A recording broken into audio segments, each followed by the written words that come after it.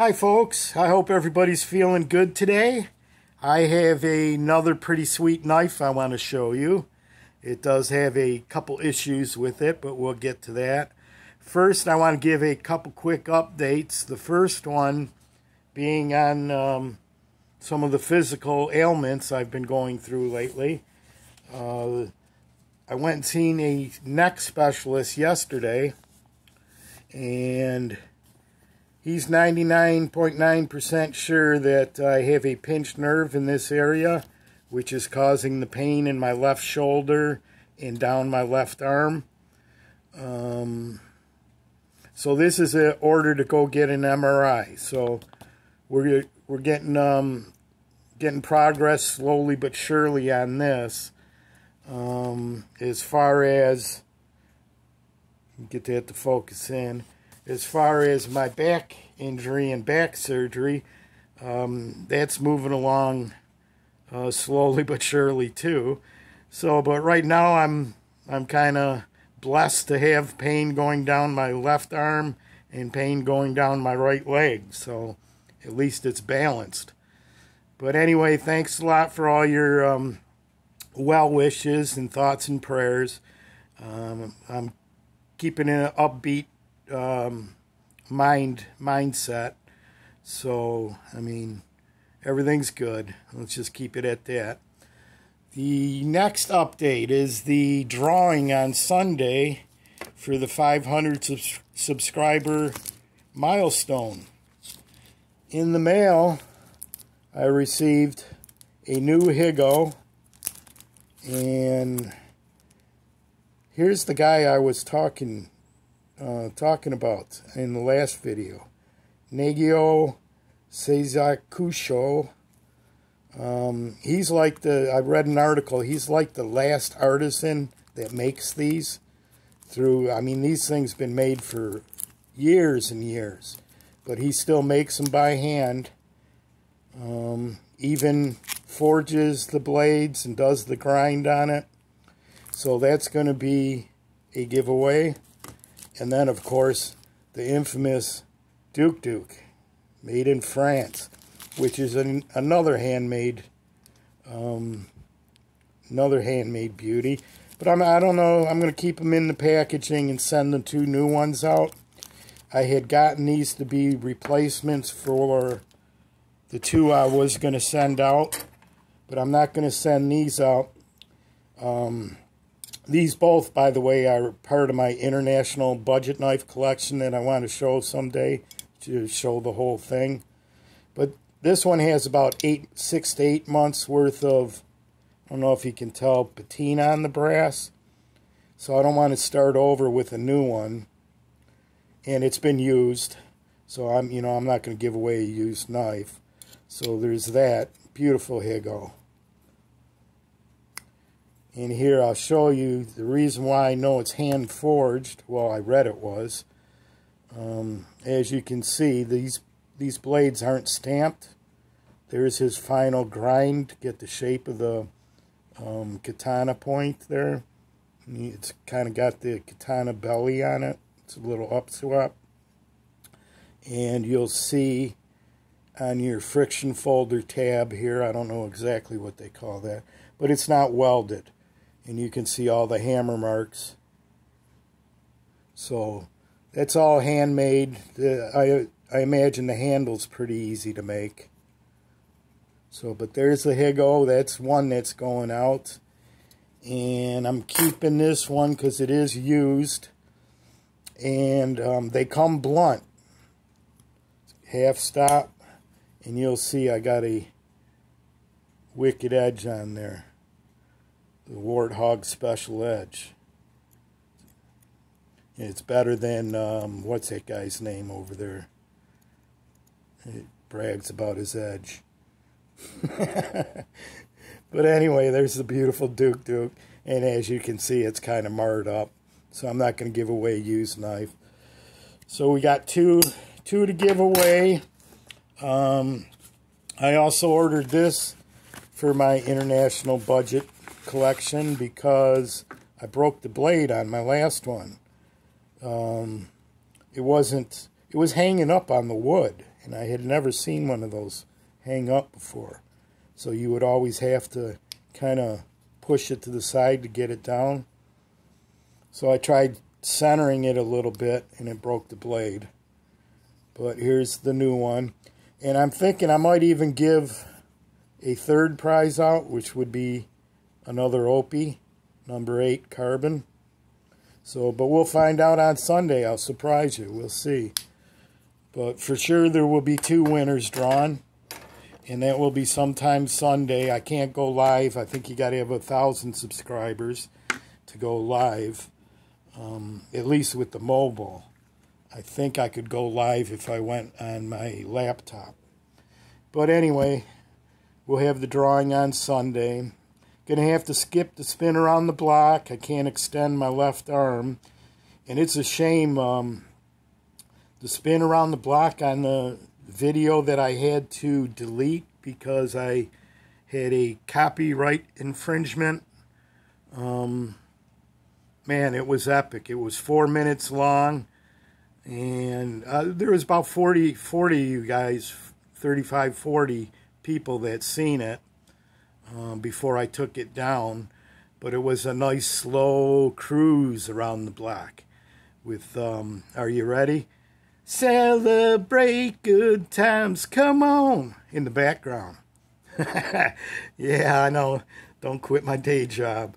Um, but yeah, no, it was an epic spin around the block. I read a couple comments where people told me that was their um, the best spin around the block they ever seen. So one day I hope to recreate that and um, without the music in the background. And uh, yeah, we'll see how that goes. but anyway, let's take a look at this knife. Now, I bought the these two case knives out here. Got to move this down. At the same place, DLT Trading. And we'll have to uh, take a look at this Boker real soon. And this other new one that I got here. Check out this old, this is a 60s Saber brand Barlow. Got that for like $22. Look how tight that back is there. But I want to put that up with these gorgeous Barlows up here and see if it fits in. And it does. So, but anyway, I got both of these slimline trappers.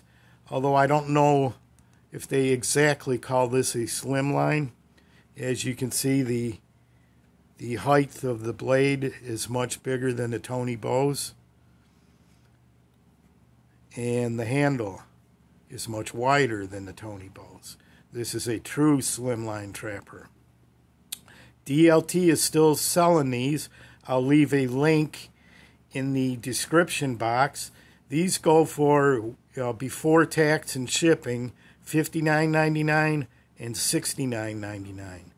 So I know a few of you already bought this and um, you guys really like them. With this, you get the new uh, black box. And with the Tony Bose, you're going to get the old box. Here, we'll show you the model number if it'll come in. 71048SS, ebony smooth wood. And so we'll take a look at the slimline here in a minute. I want to show you it comes with a certificate of authenticity. 2019 SHOT Show exclusive. Now the SHOT Show is in Las Vegas. And let me tell you, if uh, I was in good physical health right now, I would probably, I'm in Michigan, I would be heading south. And right now I'd probably be in Kentucky here, I'll let you freeze frame that if you want to read it. I would probably be in Kentucky on my way to um, my good friend uh, Zan Ali's um, area there in Atlanta, Georgia, to go to the uh, Blade Show, one of the biggest and best Blade, probably the best Blade Show um, in the country. I know the SHOT Show is pretty big, but from what I've read and heard from Zen, um, the the Atlanta, the Blade Show in Atlanta is top dog. So yeah, I'm kind of bummed out that I can't be going to that, but may, you know, there's always next year. And we say that a lot up here because our sport sports teams really suck. So every time we get eliminated uh, early from playoff competition, it's well, there's always next year. So I'm going to stick by that. There's always next year. Hopefully, I can make it down there then, and we'll check out some knives. Okay, let's take a look at the Tony Bose collectible that I ruined because I decided to use it. uh, well, I didn't ru ruin it. I, I didn't buy it to be a user, but sometimes I just get this itch where I'll grab a knife, especially when everything's out here, and start cutting on something. And I probably shouldn't have used this because I could have just reached up a little bit higher and grabbed this, which is a designated user, as you can see on the blade. And this I use around the kitchen a lot. You can tell the uh, handle has been washed quite a bit. And that's good because I like that um, washed out micarta look, washed out distressed look. So I'll keep that there. But here, let's take a look at the Tony Bose. There you go. Polished handles, ebony covers, propeller shield. Not the best fit in the world. Um, some marring there. This one, the quality on this one's not as nothing near to the quality on this one, unfortunately. And you would think with the Tony Bose, they would um, make sure they try and get it right. Now there's no half stops on it, which is not typical for a single blade slimline anyway. But you'll see this one has quite a bit of gap on that back spring and liner area. Look at the nerve. My hand is going crazy.